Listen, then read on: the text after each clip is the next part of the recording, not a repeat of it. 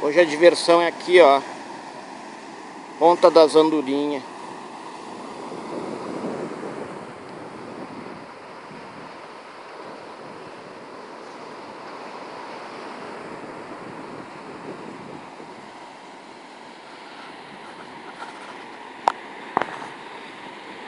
Lá ao fundo, Ilha da Magia, mais conhecido como Floripa.